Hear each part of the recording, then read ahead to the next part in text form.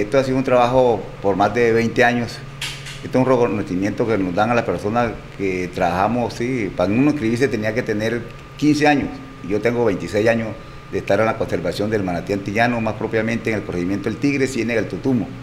Eh, bueno, sí, es la máxima distinción que da en, las diferentes categorías que da Corantioquia. Corantioquia es la primera autoridad ambiental de nuestro departamento, como es Medellín, la capital, ¿no es cierto?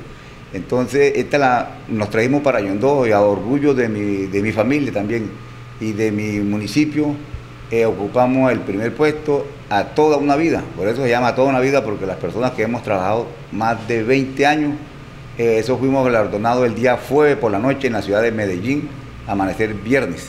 Eh, más que todo, nosotros estamos pendientes, ¿no? De que a los manatíes pues no les pase nada, porque algo eh, en épocas de sequía.